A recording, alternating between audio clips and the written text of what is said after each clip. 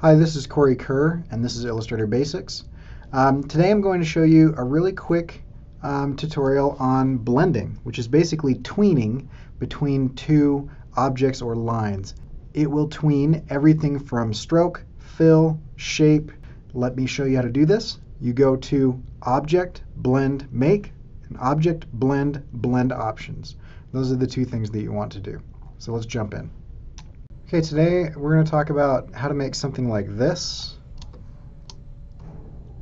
and like this. First, make a circle. Okay, then use your white arrow tool to delete half of that circle. Then make a copy paste that copy in front by pressing Command C, Command F, Control if you're on a PC. And then as you drag or hold uh, Alt, make that the same size. Okay, and then we'll grab these. Okay, move this one over while you hold Shift so it stays aligned. And then select this as well. Hit it one more time without holding Shift and then that gives you um, the option to use your key. So notice like right here, this has become a key object. And that means that this will not move and anything else that you're using the align and distribute palette for will move. So I want the spacing in between them to be nothing. Okay, so now I've got that. So now what I technically have is I have two objects, two objects um, that look like one, okay? Notice that they're two. So I'm going to select both of them I'm going to press Command Alt B, okay, or go to Object Blend Make, okay, then go to Blend Options, change it from Smooth Color to Specified Steps, and then increase this as many times as you want. For this example, we'll use 10, and click OK. Okay, so we've got that.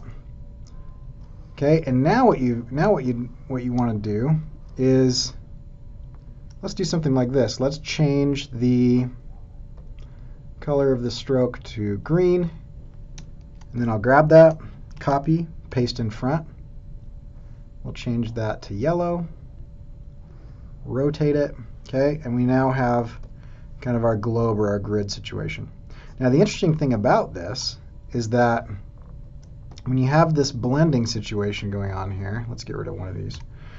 When you have this blending situation, it will, as long as you don't expand it, it will continue to blend. So I can take my shape builder tool and I can bend it and notice how it tweens in between those two points. And the reason for that is, is when you're doing blending, what you're actually doing is you are tweening in between two objects or lines or points. So if I go like this and I go object blend make. Okay, notice that it's giving me the step-by-step -step process to get from one to the other. Now, if I change this side, so if I come in with my white arrow tool and I click on this one and I make this purple, okay, and then I go to object, blend, blend options, and let's go specified steps and let's take that down to 10. Okay, notice how the line changes, okay? Or if I take this and take this and I do that fill, notice how I'm getting gradiated versions of that fill. Okay, so you can do some kind of fun things with this. So let's create something like this. You can make a line, okay? And then you can come over here and you can make another line. We'll make this one a little bit curvy. And maybe it'll loop or something at the end. Something like that. All right, so now that I've got that, okay, I've got these two lines. I'm going to thicken these up so we can actually see them. And let's make them black with no stroke. There we go. Okay, so now I've got these two lines. This gets pretty crazy down here. Let's see what happens. Both of them. Alt Command B for blend.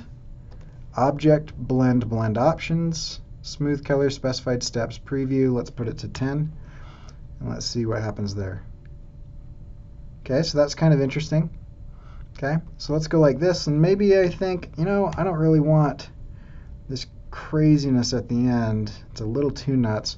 So I can kind of adjust and notice that it makes those adjustments. And then if I decide that I want to use my convert anchor point tool to adjust these, I can further adjust what's going on here and it will continue to make those adjustments. Okay, so once I get that, then you can do something crazy. You can grab this guy, we'll bring him down here like this. Okay, let's make our stroke white so you can see what's going on hit your rotate tool, just alt click somewhere off to the center, and let's do let's do 360 for a full circle divided by 125. Let's see what that is. Yeah, that's pretty good. And we'll go copy, and then you hold Command D, and the computer freezes up. There we go. You notice how it kind of does that craziness. So I could do the same thing and maybe less. So let's bring this over. Okay, R for rotate, Alt click to bring up the menu and to change the axis point.